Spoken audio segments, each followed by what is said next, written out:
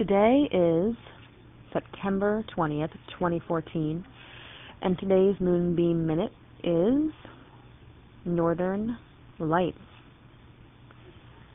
I've heard that because the summer was not so hot this year that we may have an opportunity to see the northern lights up in the northern hemisphere and uh, more readily than we have uh, in recent years.